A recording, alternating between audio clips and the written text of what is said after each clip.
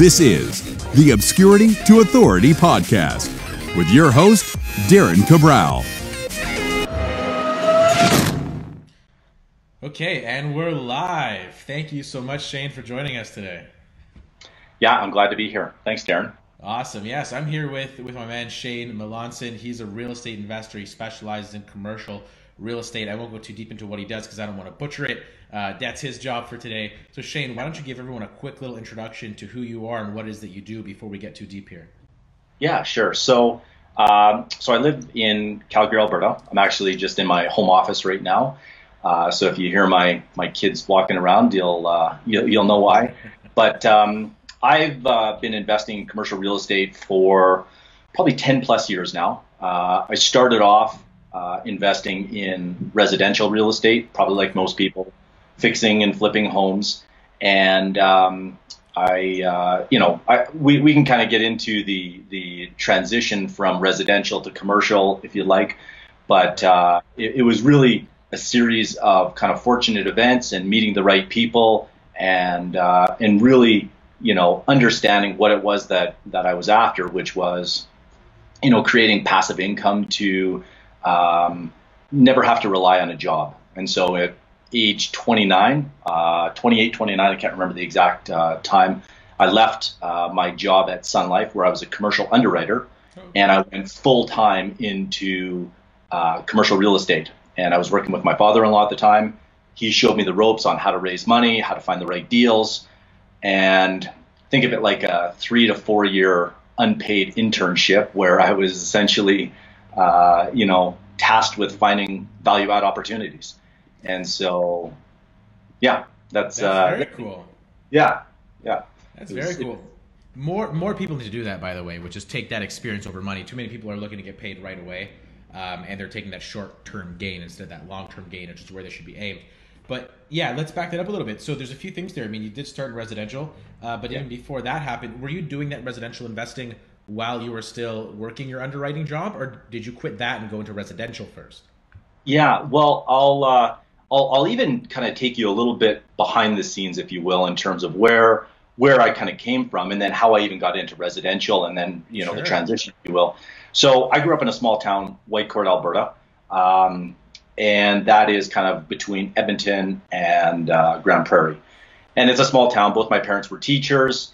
And uh, I remember I was going to university and I would come back during the summers and I'd build logging roads and worked on the rigs and did all that kind of manual labor. And, uh, you know, my dream was just to get a, an office job. That was kind of really what I was, what I was after. Um, anyways, my first year back, my parents and I were approached by a gentleman in Whitecourt with an investment opportunity. And so it was a very lucrative opportunity. My parents, uh, being teachers, thought this would be kind of their fast track to retirement. Right. And they had just paid off their house. Uh, and what they did, my dad, he, uh, not wanting to miss out on an opportunity, remortgaged their house, took out $100,000, put it into this investment. Right. Everything I'd earned that summer, which is about 13,000 plus or minus, uh, I put into the deal as well. Six months later, it's all gone. You know, my parents now are forced to work another 10 years and pay off that mortgage. Uh, for me, I had to get a job to go to university and, and kind of pay for my, my education. But it really taught me some, uh, well, first of all, it scared the hell out of me uh, in terms of investing and trusting people.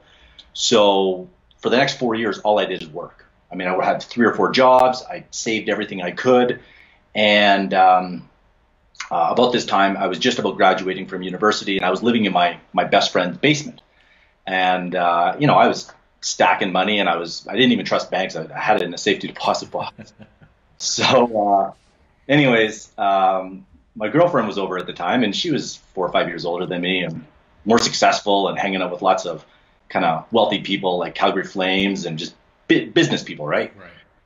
Anyway, she's like visiting, and she's uh, walking by my two roommates uh, to go to the basement suite where I was was uh, living, and she just said, "You know what? I got to go. I can't can't be here. And I didn't know what the hell she was talking about, but um, essentially she was embarrassed. And so she broke up with me. And, you know, I was obviously pretty, um, uh, you know, saddened and depressed for a little bit. But uh, it, it kind of triggered in me that just saving money uh, wasn't going to get me to where I wanted, uh, which was, you know, having money in a bank or a, a safety deposit box. It, it, really wasn't helping me. And so seeing what my my friend had, which was about four rental houses at the time, and he was a bartender. He wasn't really, you know, he didn't need an education. I, I decided to buy my first place, got a roommate, and then three months later, I started to fix and flip houses. And so that's really kind of the trigger point for me, which was like this uh, real, uh, almost embarrassment, if you will, of, of you know, having money, but but uh, not not being successful. And so that was uh, a key driver for me to kind of pursue real estate investing. So that, that's how I got it. Yeah. That's that's amazing, and, and all of that you also did cover because I just finished your book. Uh, I guess it was a couple days ago now. All that you cover in your book, which we will link to uh, later on, which is called what again? Club syndication. Right, and they can get that from where? Your website? Yeah, they can just, you know, they can go to my website at shanemelanson.com or they can even just go to Club Syndication and download a free copy of it. So, yeah, so yeah. I, I, highly recommend if you guys are interested in that story, getting that and reading through it because he goes into detail there. Um, and, and, there's a lot of great points made, by the way, going back to that whole initial, uh, right to the beginnings. That's interesting where your, your dad got into that investment, you guys got into that investment. Um, I think that was a great learning lesson as well because I still see a lot of that going on today. And I think that can in large part be attributed to investing in things you don't fully understand or you don't at least have an idea of the risk involved. So how do you mitigate that today? Like, do you still have, you know, is that something that you try to educate people on, or do you ever see suspicion when you're getting to deals with others, or maybe they've been burned before? How do you go into these deals making sure that you're not going to get burned? Yeah, uh, no, that, that that's a fair question. I um, so investing in commercial real estate and residential real estate, I I view them as completely different. Right commercial real estate is like going into the NFL, and residential, um, and it's not to diminish it. It's just yeah. you're just playing with people that. I mean, if if a guy's worth a billion dollars or a couple hundred right. million, and he's just at a different level, um, there's just a different rule book, if you will. And and the second thing is the brokers. And I was a, a real estate agent, commercial real estate agent, so this isn't uh, anything negative towards them. But their job is really tough and their job is just to make sure the deal stays together. And so they're pushing on both sides. And what I've seen is people that come in with very little experience, let's say a new investor, if they don't have someone on their side, if you will, to kind of walk them through the mistakes that can happen or just understanding, you know, what to expect in a negotiation, uh, what happens is sometimes they either invest in the wrong deal, uh, they overpay, they buy the wrong location, I mean, there's just so many variables, if you will. And you know, this this really became evident when I helped um, a doctor, uh, and I think I mentioned uh, this gentleman in my book as well, uh, where he had invested in residential real estate, and he kind of felt that it would create a second job for him, and that really that wasn't his intention, right? He wanted to replace his income as a doctor, and so when he came to me, we went and had a coffee, uh, him and his wife, and we sat down and started talking about commercial real estate. And I could tell that even just some of the terms, because um, it wasn't. Uh, sometimes you just do things un- like uh, unintentionally, and you're not even aware of it. And so I was throwing out like acronyms like NOI and cap rates and right. you know DCR, and and and and I could I could tell that he was like either uh, confused, like he he understood some of them, but I, I realized that I had to kind of like take a step back and say, okay, well, you know, what is it that you're looking to do? And uh, and and so there's a real education process, if you will. And so we we spent probably the first two months just giving him the lay of the land. Hmm. Here's the Calgary market. Here's the different asset classes, right? Do you want apartment buildings? Do you want value add? Do you want retail, industrial? Here's the pros and cons.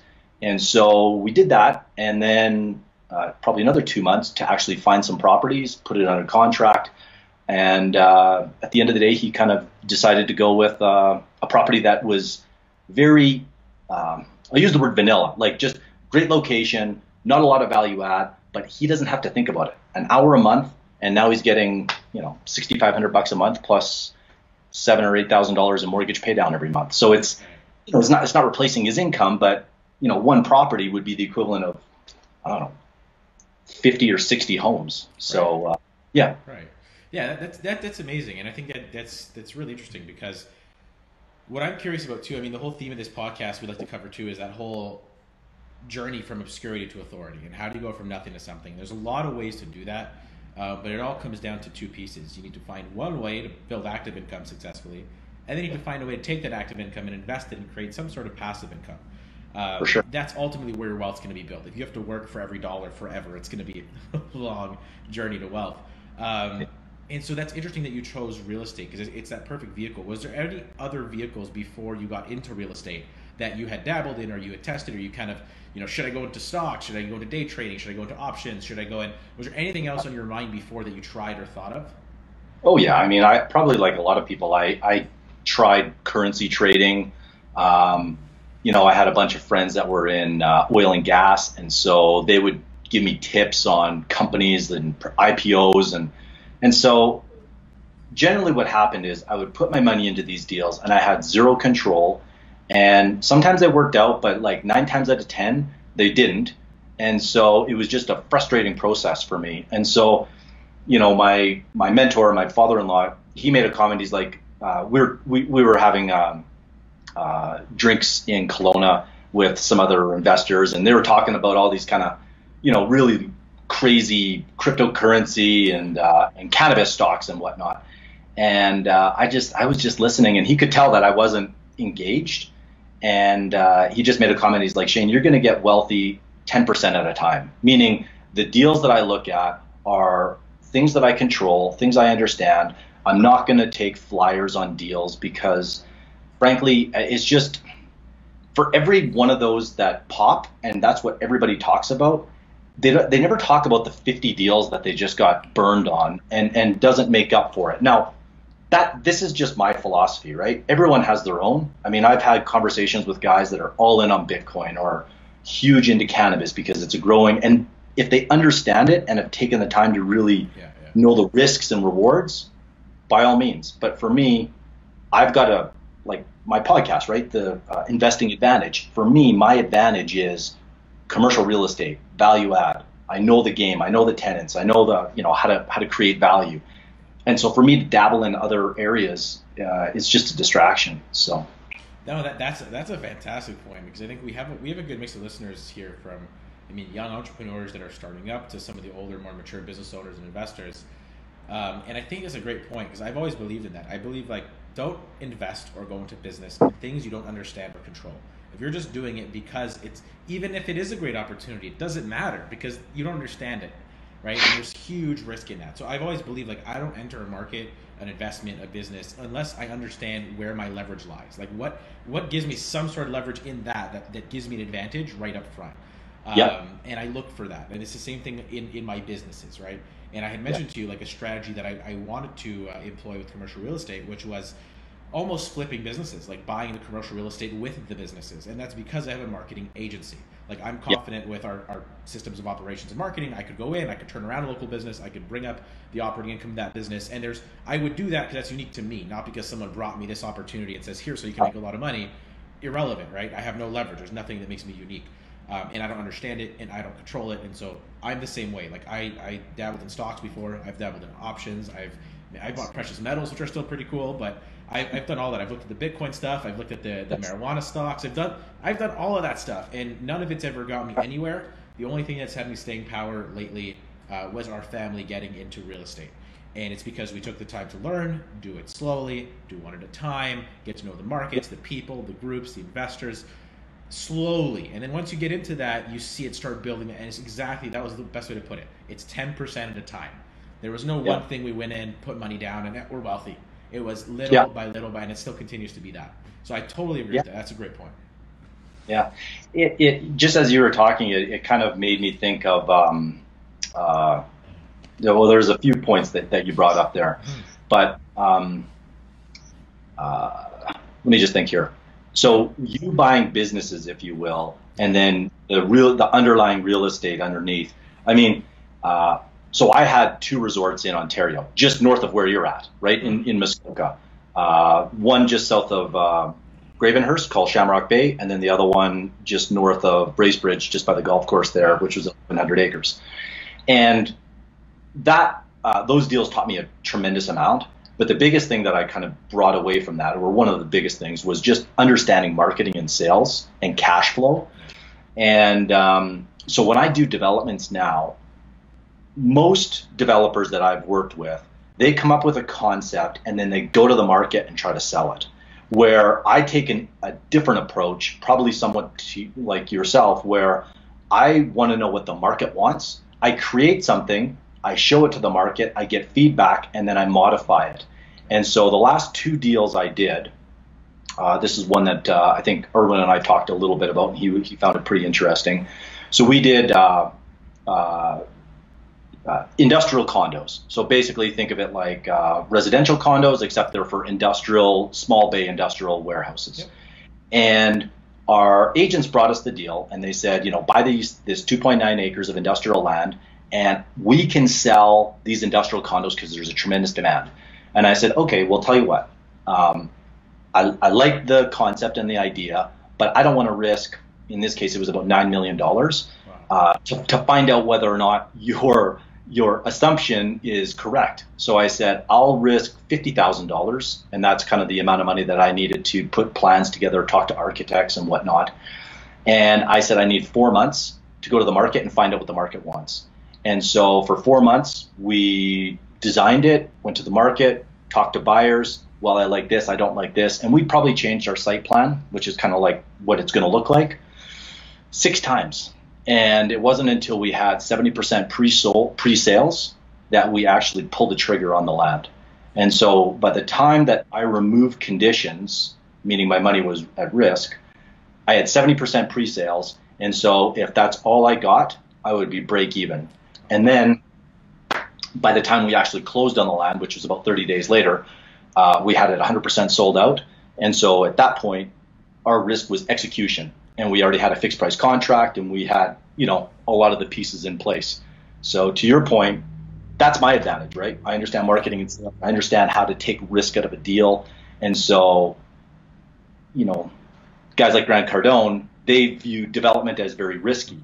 And i suppose for him it is risky because he may not be familiar with that. Mm-hmm. but if you understand development like i've seen some of the biggest guys in canada and the us do they take a lot of that risk out of the deal. Right. I mean, if you're building on spec, absolutely, extremely risky. But if you've got tenants in place, you can pull a lot of that risk out and, and really experience, you know, upside. So anyway. How, how do you feel about that, the whole Grant Cardone thing? I mean, um, I, I used to be a pretty big fan, but I'm looking at what he's doing with real estate, and maybe I just don't know enough about it, but do you think it's a good idea that people are just sending their money um, to someone they've never talked to, never spoken to, and betting on deals, having no idea how he's running them. Is that really the best way to go about it? Um, you know, I, I have to preface it by saying I don't mm. fully know how he's doing it. Yeah. Uh, I don't know if it's a fund, meaning you're putting money in and then he's able to put it into multiple deals, or if it's one-off deals. No, it's right? exactly that. It's, it's a fund with multiple properties. They're okay. raising money over the phone with a sales team. He raises yeah. about, I think he said, 12 million a day comes through over the phone.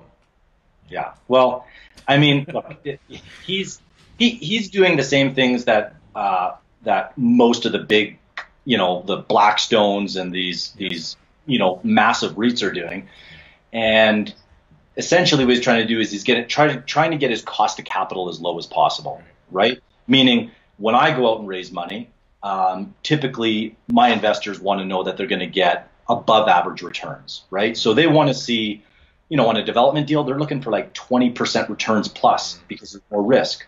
Now, if I'm just going out and buying like, like, so Grant, he really focuses on like core properties, A locations where over five, 10 years, the rents are going to continue to grow, right? And, and the, and the theory is that if you have uh, the best in class and you're in growing markets, that you're going to continue to get that, that, um, that push on rents, if you will, right?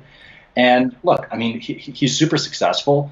So I get why why people are drawn to him and, and put money in, right? I mean, I, I follow a lot of his stuff. I uh, I've studied him, and for me, it's not.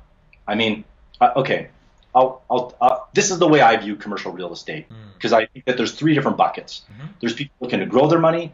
There's people that are uh, trying to make money, grow money, and keep their money, and keep their money is like legacy, right? You're you're that's what Grant is doing essentially, right? A lot of the wealthy families that I'm aware of, they're buying with like 10, like most of them are buying for 50 and 100 year times. Like that, that's how they think. I would imagine, and I don't know this, but most people that I meet are either looking to grow their money, right? Like this doctor. He's got, let's just say it's a million dollars or $500,000. He knows that that's not enough to be able to retire on.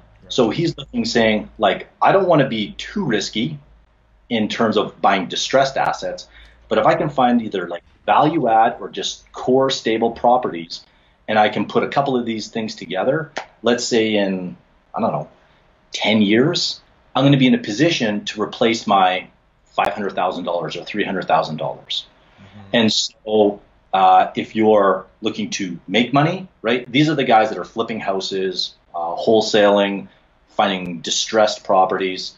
Frankly, even when I do developments, I'm making money, right? right. Except I'm making it on a big scale, mm-hmm. right? Most of these deals are, you know, seven figures plus in terms of uh, uh, profit. So wow. I don't know question, but I, I kind of jumped around. No. I mean, I mean that's the whole theme of this podcast. We're just going to jump around. Uh, me too. I get random ideas, and we're going to head in different directions. but no, that, that does answer my question. And I mean, I'm going to kind of use this time selfishly too, because I have a bunch of questions that I think others sure. will find valuable. And yeah, yeah. one of them to me is, well, firstly, the whole reason I asked, I don't want to forget my first question, hopefully, but uh, one of the reasons I asked about Grant Cardone is like at least I think now three people in the past two weeks have told me, "Have you heard of this Grant Cardone stuff? I want to invest in it." And I'm just like, if you're gonna get into real estate, that doesn't to me sound like the best way to do it. And these are people that have no clue how real estate works. They've just heard Grant Cardone say he's making money, and they're sending money to him. And I'm like, that's probably not a good idea. Um, that's why I asked. So hopefully that, that yeah, clarifies. Yeah. So you, you did pretty well answer that. And I think it all goes back to no. The answer is you should probably learn the craft, learn the market, learn how it works. Even if you're going to be a passive investor, you should get some education on the market and the process. Don't just throw your money at people. Um, yeah. That's never smart. But my other question to you was was this, and this is kind of wrestle. I wrestle this in my own mind because a lot of times investors are taught um, different strategies, whether it's with residential or with commercial, and there's two kind of thoughts or streams of thought when you look at income from real estate investment, and that's the very active side, which I mean, it could be the long term buy and hold and managing that, but I consider it like the flips, the wholesale, the stuff where you're just it's a one time deal. You go in, you make your money, you get out. And then there's the right. one saying, well, if you really want to build wealth, it's the long term. You got to buy this stuff and you got to hold this stuff. So when you look at commercial real estate, this is something I wrestle with. Like I'll give you even an example so you can answer on that. There's a piece of land that just went up for sale here, uh, 10 minutes from my office. It's prime South Barrie Area real estate. Um, it's about 0.64 acres, so just over half an acre. Um, they want about 795 for it, I believe. It's all still covered in trees. It is serviced. Now I look at that and I go, "Where's the What's zone? Uh, it's zoned for commercial. I don't know the exact. It just said zoned for commercial in the listing. Okay. Okay. So I look at that and I go, if I if I was getting into a deal like that right now, I have a few options do I go in there? I mean, if the numbers made sense, do I go in there, buy that land, get it developed, clear it out, build something on it? Maybe we build commercial just just the envelope, and we just sell the units as is, and people finish it on their own. Um, and I, I get in, I get out, or do I buy it? Maybe move my office into one of them and lease out the rest. And how do you decide? Well, what's what's the better route? Sure. So there's a couple of different things. Number one, I mean, so this would be like the first part, which would be like what is it that you're trying to achieve, right? I mean, if, if you're trying to, um, if you've got uh, $10 million and you say, this is another core asset that we're going to hold and we're going to basically develop it. We're going to put our offices in there. We'll lease out some other space, but we want to be here for 20 years. I mean, that, that that's one approach. If you are saying, you know what, uh, I've got half a million dollars or a million dollars, and I really want to like grow my wealth, then you could look at it and say, well, uh, uh, the first question I would ask is, do you want to own this for 20 years? Right. Because if, if, like, I've got a development right now in Southeast Calgary where it's not a core asset. And when I say a core asset, it's like, like, I mean, I like it. And if I get anchor tenants that are credit worthy and they're going to be there for the next 20 years and I don't have to think about it, then I'll probably hold on to it, right? I'll develop it, I'll refinance, pull my capital back out, and deploy it into the next project. However, if I get um, tenants that I am okay with, right? More mom and pop, um, not nationals. I may look at it and say, you know what, the market's hot right now. This is an opportune time to sell because interest rates are low, values have never been have never been this high. So why not take my money off the table and sell it and then redeploy it into the next asset, right? So it's it, it's it's um it's kind of a hard question, but I really look at it like, do I want to hold it for five years or do I want to hold it for 50 years? Right. Because commercial, yeah, it's, it's I mean, it's it's not quick, right? Yeah. Uh, and, and, before I forget, uh, your question on how to invest passively, if you will, because it sounds like some of these guys are, are investing yeah. passively. Yeah. Grant. Um, and it's not just Grant, right? I mean, there's, there's lots of syndicators. I mean, I, I've got I've got people that come into my deals. Um, one of the things I would say is uh, even since I started to become a little bit more out of obscurity, right? right. In terms of doing podcasts, writing my book. I've had people contact me and say, "Hey Shane, can I invest with you?" And uh, I will tell you, uh, and and this isn't out of a place of arrogance. It's just a really a place that because I've done it.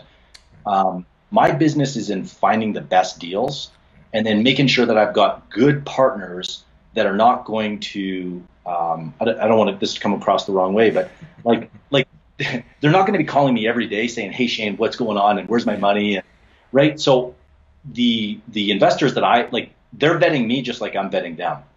And so I would say that if it's really easy to put your money into a deal, I would be suspicious a little bit. I, I would just I would ask the question like, I mean, is my money going in with smart money or is it my money going in with um, unsophisticated money? I don't know right? And I'm not making a comment as to how how that money's being raised. I'm just, I, I mean, I did a 80 minute conversation with a friend of mine who's looking to invest, not with but with a different syndicator, and he had about 15 questions. You know, how do you vet the sponsor, the deal, the you know, like all these kind of. He he really came in prepared, and I said, well, let's record it, and I'll send you a link if you want. You can. It, it's on YouTube.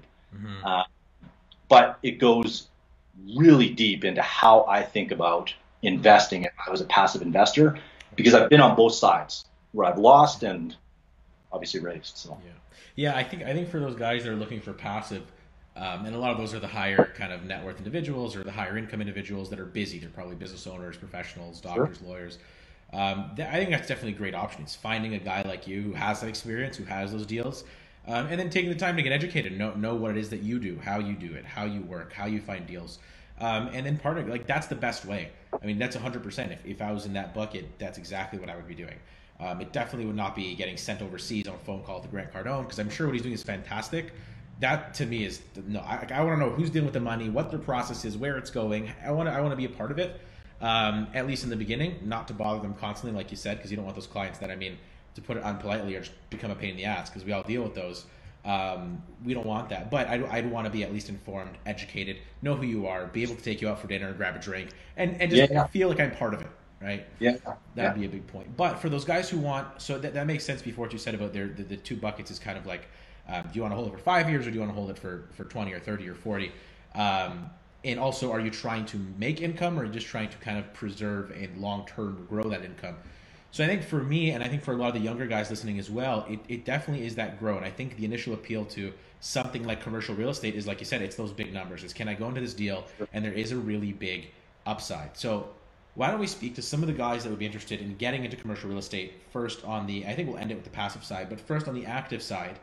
Yeah. Can we talk a little bit about that process and how someone, the average individual, maybe they're they're 30 some years old, they have steady income, not a lot, maybe they make 80 to 120 grand a year, they want to get into commercial real estate actively, look for these deals, find deals, raise money. What's kind of the process? And you can take your time on this, but if you want to walk through, yeah. where would those guys start? So I um, so like there there's different uh, thoughts on this, if you mm-hmm. will, right? Uh, and really, there's kind of three areas of um, or three places that you really need to master, right? You got to find the right deals, you got to finance them, and then you got to be able to manage, fix them, operate them, whatever you want to call. Typically, the last piece, which is fixing properties, which is what I call it, mm. that can generally be outsourced. So really, then it comes down to finding money and uh, finding the properties. Right. And so, I always start with finding the properties. Right. I like to be able to know that I can raise the equity because it does become a chicken and egg, right? I mean, you're not going to get a lot of people going out to find deals when they say, well, as soon as I find a deal, um, how am I going to raise the money, right? So what I would suggest in that case is to align yourself with someone that has experience in terms of have they syndicated deals before, or or do they have the capacity to be able to pull this off? Um, I would say, uh, are you in Barrie or Orillia or what, Barrie, what's your yeah. Barrie? Right. So I guarantee in Barrie, there's probably like two or three guys that are invested in commercial real estate. If you talk to a few of the brokers, they're going to say these guys are always looking for deals. Right. Now, if you know who they are, you've had conversations with them, they may not even take your call initially because, uh, but it's not like they're celebrities either, right? And and a lot of these guys, if they or girls or whoever it happens to be, um, they're they're pretty keen on a seeing new opportunities and seeing people that are hungry and aggressive. Mm-hmm. And so if I was starting out knowing what I know now, I would be mastering one asset class. Doesn't have to be multifamily. That's why I call it commercial real estate because quite frankly, most most people focus on multifamily. Well, generally speaking, most apartments are bid up so high right now. The caps are super low and there's so much competition. So being a contrarian, I'm looking at retail. I mean, retail is just getting the shit kicked out of it right now by Amazon, but it doesn't mean that retail is going away. And so I can go in and buy a retail property at a seven cap or a seven and a half cap in some places, right? I mean, not all, but it, it gives you some perspective. Um, so I'd be looking for opportunities where there's a value add and there's a story. I always call it a story, right? Like, like if I got to go and pitch this to someone, what's my narrative? What, how am I going to communicate this where I get their interest? And so if I've got that down and where it's really easy to explain, then I'm going to get their attention and probably be able to have a meeting with them. Hmm. I'm going to be smart. I'm not going to say too much because if they find out, you know, yeah, what the deal is, they might they might just go around me. so you, you have to be a little. That's what I mean. But you have to understand the game, right? Smart. But if you can find the right properties that have vacancy, under market rents, whatever it happens to be, and you can you can tie these properties up with a letter of intent without having to put money up. Now you're not going to get a ton of time, and you should have some money to be able to put it under contract. But at that point, now you can start going out and talking to partners and investors. Because I can tell you when you meet with a doctor or an engineer or some guy that's got a ton of money, maybe a business owner, you're not going to get a lot of uh, their time if you're talking conceptually, right? I mean, hey, I'm thinking about this or think, you know, like it's like a property. I'll give you an example. Right, right now, I've got a half acre. It's by a, a big school, and I have just started to plant seeds with my investors. This is what I'm looking at, guys. But you know what? Until I'm far enough into my due diligence uh, that I know I'm going to do this deal, I don't want to waste your time. But high level, how does this sound to you? Well, I like it. Yeah, that sounds great. Okay, perfect. So I know that guy, he's worth whatever X dollars. He might put in 100, 200, whatever the number is. And so I can start to kind of piece those, you know, piece the deal together. And it, it's a process. I mean, it's uh, there's a bit of art, but certainly some science to it as well. That's interesting. So that answer your question? It does. So someone starting out, I mean, you're saying the most important part is get good at finding deals, finding deals, finding a story behind those deals, and yep. in large part, I mean, and this is something I think Erwin's even told me about. When you find good deals, uh, money comes a lot easier because there's always guys with money. If, if it's there and it's real and it's actually tied, and you mentioned that in your book, like actually tied up, not just hey, I found this cool property, like do you want in? because the first thing they'll say is like, well, do you actually have any control over that right now? Because by the time I say yes, it could be sold, right? Yeah. Someone else could tie it up. So I, I, think so. You're saying that would be the best kind of starting point is get good at finding those deals. Yeah, yeah. I mean, it, when you so um, I just spoke last week to an event with about sixty or seventy real estate investors that were trying to get into commercial real estate. Nice. And uh, there was about ten people that stayed afterwards, and there was one lady in particular, and I just talked about this, where she. Uh, she was she had come across, and I don't want to give away too much of the details, but kind of like a 30 to 40 unit apartment building. Um, she knew uh, the she had developed a very good relationship with the uh, owner, and she was asking me a bunch of questions about how to partner up with someone, right? Someone with the money. And so when I started to kind of peel back the layers, uh, I I found that she was really just looking to do like a one-off deal. She felt that there was going to be enough uh, upside in this that she would never have to partner up with this person again. It was like kind of like a one night stand, right? I mean, it was just like there was no relationship. It was like Yeah. you bring in the money and expertise, I'll bring the deal, let's split the profits, and we'll both walk away. And I just told her, I said, you know what, you're going to find the wrong partner, in my experience, because uh, a if you don't have experience and all you're doing is finding the deal, unfortunately, the cash is going to dictate the terms. And so I've seen in many cases where an unsophisticated person brings in the deal, let's say they control it even, right? And I didn't go into this in the book because it starts to get kind of complicated, but so let's say you bring a deal to me, right?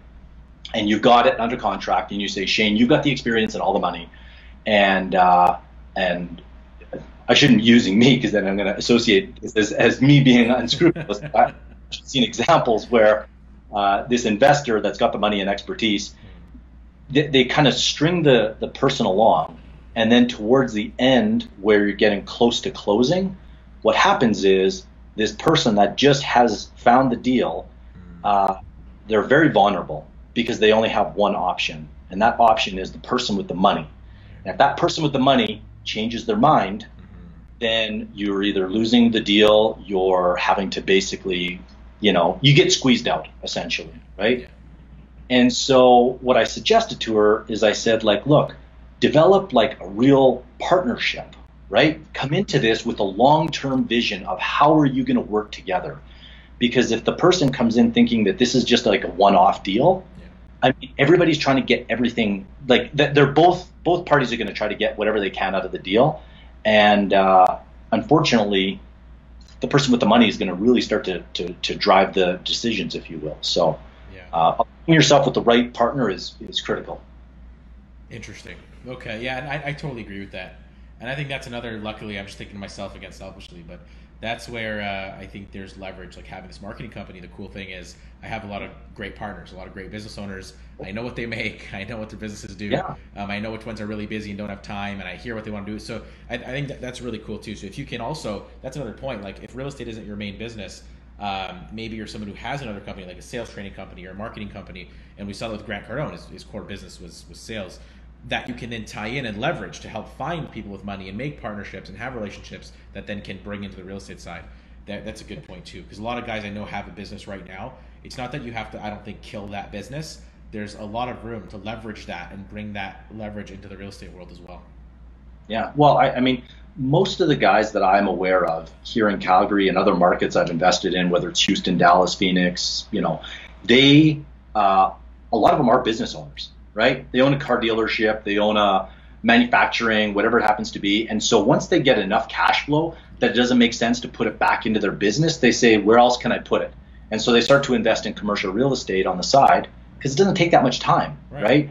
And you know, if you're a you know car dealer or whatever, you kind of have a feel or a sense for what places you want to own, Right. and uh, and so you just start to acquire real estate. And at a certain point, it's like like Grant. I mean, now all of a sudden, his assets over here are worth so much that his core business that but, but you have to remember his core business fed Right. all that right without his without over here making the millions of dollars a year to be able to buy that commercial real estate it is very difficult so Yeah. yeah i think it's really smart to start now for you for example Yeah. uh, but but don't kill the golden egg or the goose or whatever it is that whatever that saying is right Yeah. whatever is generating your cash flow just keep using it to to fund your deals Exactly. So that's cool. So walk you through the process. I mean, so that first step is that. So get good at finding the deals, get some of the money, get the connections, get the network, make the partnerships.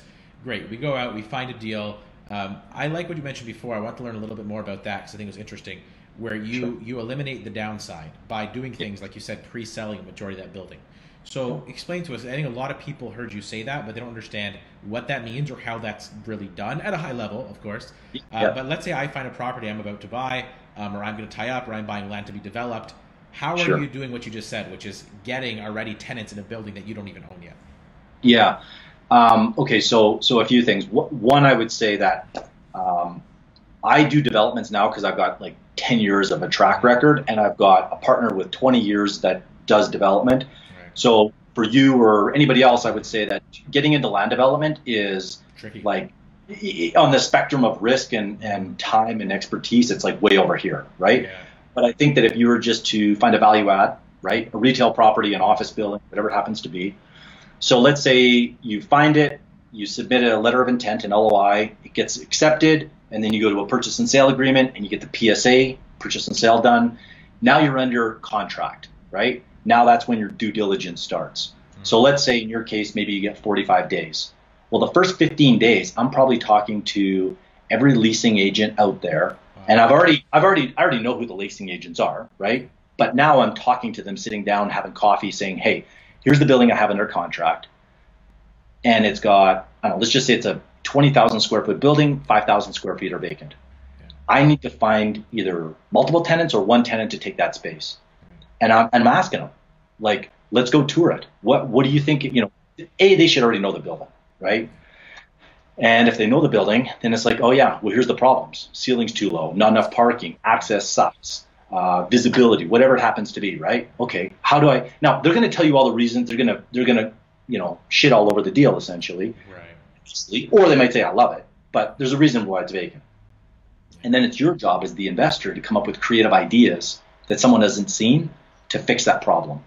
Right. Right. And for you as a marketer, you can start to think, yeah. okay, right, what, whatever it is that you're bringing the, the equation that's your advantage, right? What is it that you know doesn't? And sometimes it's what I call triangulating different conversations. So I'll talk to a mortgage broker. Oh, this is why it's vacant. This is what they, this is what the bank doesn't like. This is what the leasing agent says. Oh, you know what? This appraiser said this. Uh, the last guy that sold this property, he knows that. You know what I mean? So you're just like it takes time, mm-hmm. but the reality, like that's why doing one or two deals a year is all you need to do. Yeah. Right. I mean, and and so one of my biggest lessons, one of the things, and I kind of took this from Grant, is finding deals that are big enough. Mm-hmm. Because if you find a deal and you put all this energy into, and I've done this in the past, where it's got now half a million might sound like a lot of money, but in the grand scheme of things, it, it you know it, it's not as much as you would think, right? Uh, especially if you have partners. Right. So I'm looking at deals that have like multiple million dollar upside because if I'm going to invest all that energy, then there's got to be that payoff. Right, right. Because either way, the energy has to go in. That's right. Whether you do a one million or a ten million dollar deal, the same amount of due diligence goes in, the same amount of preparation and conversations with lawyers and all that kind of stuff. So. Hmm. That's very good. I, I like this. And you're saying, yeah, like if you do a deal or two a year, it's worth it. So let's talk about that too, like monetizing this, because I, I know more about residential, and I think a lot of people might have heard more about that. So I want to know if it's similar here. If you're doing a deal like you just said, like a value add, so I find I find a unit that's partially vacant. It probably has some issues, some things that we could do creatively to make it better. Um, and I do figure out what that is, and I do end up buying it. You know, where's the money being made? Because I know a lot of guys in the refinance world, they'll buy a house, for example, they'll do the value out of like adding a second suite, they'll refinance at the bank sure. because the value's gone up, and that's they'll take that out and keep the asset. Is that similar in yeah. commercial? Yeah, absolutely. Yeah, mm. yeah. You would you would you would uh, deploy the same strategy, if you will, right?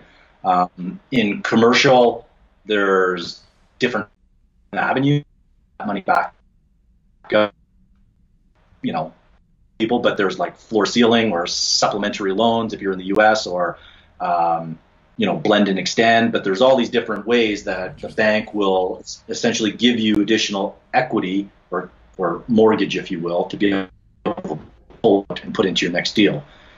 Yeah, it, funny at 11 o'clock my time, I've got an interview with the gentleman uh, who is a mortgage broker, and we're going to talk a little bit about that. So just you raising the point uh, will, will, kind of trigger me to make sure that I, I have that discussion. So, yes. um, yeah, but but you know, if you add value, so let's say you buy a building that's worth five million, mm-hmm. in 18 months or two years, you raise the value to let's just say seven million. Yeah. You know, you can either sell it, but here you don't. In Canada, we don't do 1031s, right? So you can't, can't. you can't roll your money into the next deal tax free. So what a lot of guys will do is they will basically refinance, likely what they put into the deal initially. So it's you know I'm not an accountant or tax expert, but they pull that money out tax free, and they put it into the next deal. Yeah, yeah, yeah. That's very cool. So it's, it's similar in a way to residential. So yeah, that, that's probably I would say, and I, I'd agree. Is there any room usually in that? Well, I guess you just said there was, but to sell it, but there would be no real benefit because you just get hit massively on the taxes. You know, look, I, like there's uh, there's different philosophies that investors have. Some guys they buy and they will never sell. Like they just hold it for forever, right? They pass it on to the kids and they've owned it for hundreds of years yeah. uh, or 100 years, whatever it happens to be. And, and uh, guys that are more transactional and they say, you know what? Um, like I took it from a million, it's worth two today. I'm never going to go broke making a profit. And so, uh, depending on what your uh, investing philosophy is, so that's kind of number one. And then the other part is like markets go in cycles. Mm-hmm. And so if you're nearing the top and you've got 10 properties, let's say, and you see this with a lot of big companies, uh, you know, the Real RioCans and the, you know, First Capitals. And so maybe, maybe they ramp up and they buy a bunch of properties in, in times where the market is favorable for them. And then as they near the top, they look around and they say, you know what, we own a retail property in Orillia, and that's not really a core market for us. We like Toronto, Montreal, uh, Vancouver, Calgary, whatever happens to be. And so some of these properties that are either in secondary markets or not core assets, they cull them from their portfolio. Right? They sell them off. So let's. Yeah. so it's it, yeah, it's it's you know when you study what the really successful like pension funds and REITs and like they don't have podcasts. They don't talk mm-hmm. about this. You have to like work with them and have conversations and go to events and network. And it's like, why are they selling that? What like why like what causes you guys to sell that property versus this property? Right? I was just looking at some retail deals in Lethbridge. Well, the reason that this particular massive company was selling it is because the lease for the Walmart was coming up right? And so they're saying we don't want to take that risk, but another investor can come in, and if they want to roll the dice, there's maybe upside, but obviously there's downside too. Interesting. Yeah, that, that's that's that's very fascinating. So no, I, I appreciate that. Why don't we end this off to a little bit with uh, just a note on the passive side for anyone that is listening to this as well. Maybe they heard all that and go, "Well, that sounds like a lot of work. I don't have time for that." what what's some of the options they could go forward with, and especially if they're with you? Yeah. Um, well, obviously there's there's real estate syndicators. Essentially, a syndicator is just someone that pools money together and goes out and finds assets, right? Um, typically, the way I like to approach that, if you will, is that uh, if I'm a passive investor, I want to know that there's other smart money going into a deal, right? That's kind of one of the big things that I look for. Uh, so, for example, in my deals, I've got a lot of uh, you got to be careful because I got to keep them confidential. But uh, people that are in commercial real estate, even they say my job over here is in buying and selling, and as a as an agent or developer or whatever happens to be. But I like what you're doing, Shane, so I'm going to put money into your deals. And so they're like a second litmus test for me to make sure that the deals I'm doing are are vetted properly, if you will, right? Uh, so a, I would find out kind of who else broadly speaking, is going to be coming into those deals. Um, what's the track record, obviously, of the person that you're dealing with? Um, I'm a big believer initially investing in your backyard. That's one place that I probably disagree with a lot of other um, uh, call it marketing or uh, real estate uh, gurus and, and, people that coach and whatnot. They say, you know, and, and I do invest in other locations. It's just it's much easier to manage something in your backyard, and it really is a business. So depending on the level of um, work that needs to be done, if it's a heavy value add, I look for partners in those locations uh, to to invest with. Um, so, you know, do you believe in the property? Do you believe in the person that's doing it? Um, you know, I mean, honestly, the, the, best way is just to go watch that video because literally it was like 80 minutes where I walk someone through if they want to be a passive investor and there's no pitch. It's just it's honestly me just kind of helping this guy Tim because he's putting in 50 to someone, and he's like Shane, I, I just make a mistake, and so uh, it probably wouldn't do me justice to kind of um, kind of condense it, yeah, but certainly, you know, the, the credibility of the person that you're investing with, like, can you pick up the phone? Can you have a conversation with them? Um, and then, do you like the property? Do you like the location? Right.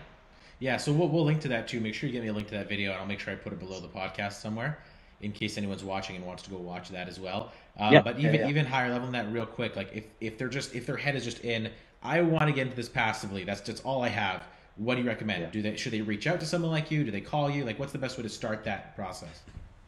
Yeah, that that um, hmm, that's interesting.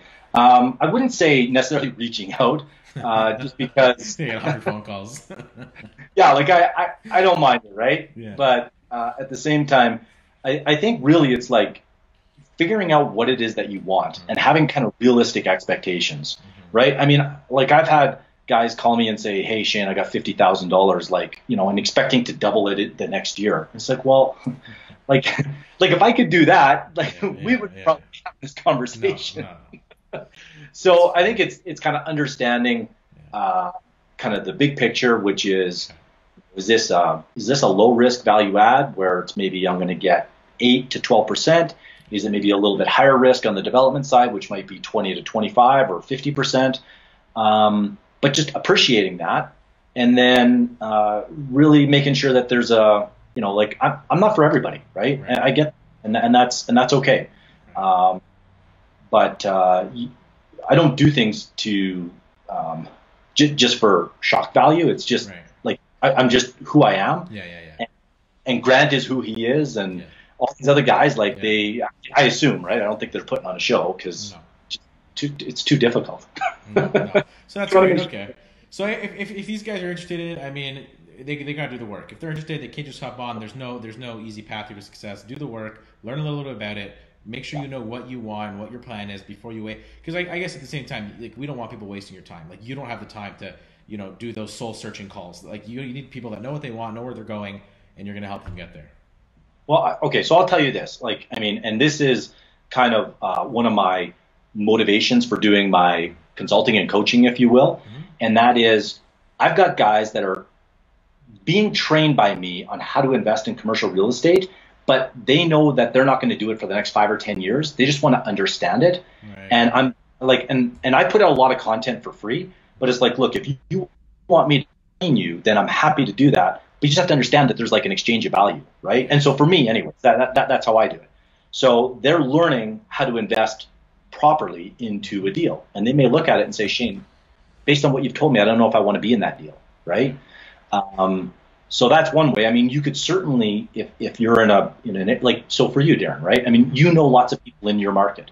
Mm-hmm. If you can go and get someone's attention that has bought and sold 10, 50, 100 million dollars of commercial real estate, go for lunch with them. Yeah. What do you look for? How could I be part of your deals, right? Have those conversations. And uh, some guys will say, you know what, I don't take in outside investors, or other guys might say, you know what, I like, I like you. Uh, you can come in my next deal, and I'll tell you when it's, you know, you know what I mean. Like there's there's multiple different ways that it's going to happen, but that would be uh, that would be that would be the best way I think. If you have that personal relationship, start there. Very good. And the last question, I swear I'll let you go after this. Is there? It just popped into my head. Is there any any benefit to possibly someone who wants to get into this actively but they do have some cash. Is there any benefit to starting maybe doing the first deal passive, giving an expert like yourself the capital, writing that deal, learning and getting close to it, and then maybe doing your own in the future as well? Is there any benefit to that, or is that just?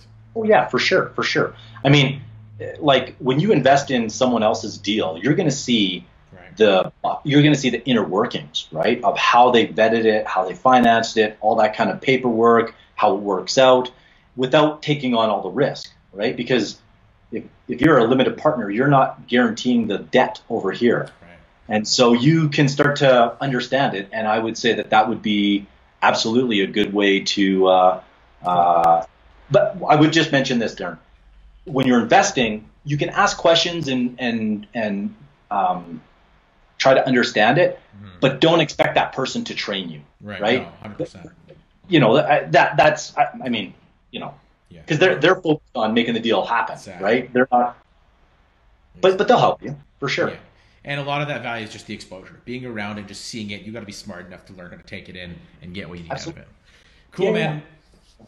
That's really good. I really appreciate the time. That was fantastic. I mean, I think the bottom line here is everyone should go get your book if they haven't already because it's a very quick read. It's a lot of value. It gave me a great start, got my wheels turning. Um, I'll link your YouTube channel and that video and all that stuff below as well uh, awesome. on the podcast, so they can go do that. Is there anywhere else you want to send people or where they can go check you out? No, I mean just I mean my website's got everything on it, all the links to YouTube and all that kind of stuff, cool. so they can check that out. My podcast, and so yeah. Awesome. Yeah. Well, I really appreciate it, man. Thank you so much. You bet. Thanks, Darren. Awesome.